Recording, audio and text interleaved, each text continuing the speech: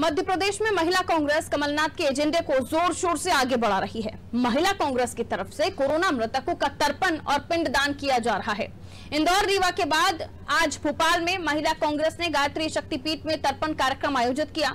यहाँ महिला कांग्रेस ने कोरोना महामारी में दिवंगत हुए लोगों का तर्पण किया। महिला कांग्रेस प्रदेश अध्यक्ष अर्चना जायसवाल ने कहा कि भाजपा के राज में कोविड के कोविड से लाखों मौतें हुई। इनमें कई ऐसे मृतक भी हैं जिनके परिवार में पिंडदान की रस्म निभाने वाला तक नहीं बचा। इसलिए कांग्रेस की महिलाएँ पूरे प्रदेश में तर्पण और पिंडदान कर रही हैं, उन्होंने कहा। अगर बीजेपी कोई कार्यक्रम करती है तो वो धार्मिक है और कांग्रेस करे तो सियासी बताती है।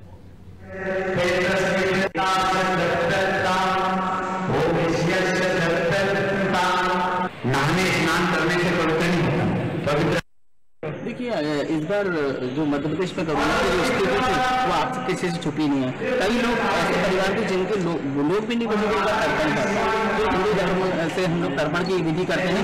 उसके लिए लोग ही नहीं बचे तो तर्पण क्या करते तो मध्य प्रदेश महिला कांग्रेस ने संकल्प लिया और भीड़ा उठाया। तो श्राद्ध पक्ष के पूरे पंद्रह दिन में एक ज़िले में महिला कांग्रेस की जो बहनें हैं, वो तर्पण का कार्यक्रम करेंगी, उन दिवगन को श्रद्धांजलि देंगी, जो आज हमारे बीच में नहीं है।